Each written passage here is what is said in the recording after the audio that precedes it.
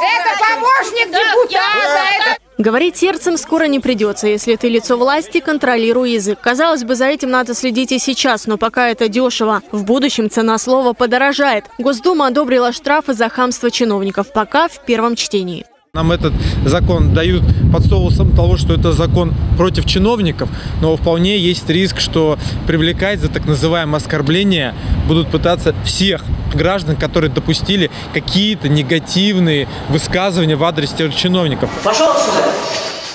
Вы нормальный? Вы председатель? Да.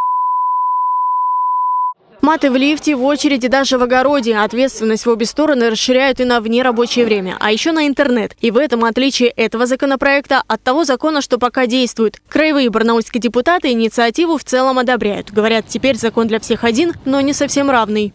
Если мы говорим об обычном человеке, не чиновнике, не представители власти, то здесь а, сумма до 10 тысяч, а, а чиновник это уже в первый раз а, до 100 тысяч, второй раз до 150. И, конечно, главный вопрос, как говорить на повышенных тонах, никого не оскорбляет, даже если очень хочется. Пока не ясно. К третьему чтению разработчики закона должны подготовить закрытый перечень оскорблений, как точно делать не надо. Правда, и в этом случае двойные толкования могут быть. А если в мировом сообществе у нас есть э, лица ЛГБТ-сообщества, и это считается вариантом нормы, то у нас соответствующее изречение по одному конкретному из них может расценить человека как оскорбление.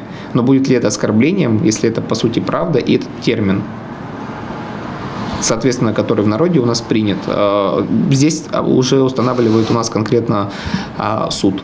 И тогда все зависит от позиции судьи, ведь даже лингвоэксперта привлекают не в каждом случае. Но, тем не менее, в обществе законопроекту рады, надеются, что власти будут культурнее. Ведь в 2018-м привлекли к ответственности за оскорбление 60 человек, а в 2019-м только за первые полгода 45. А если закон примут, чиновники Хама могут даже получить политическую дисквалификацию до года. Но некоторые представители власти уверены в другом. Чем штрафовать, нужно ликвидировать причину взаимной ненависти.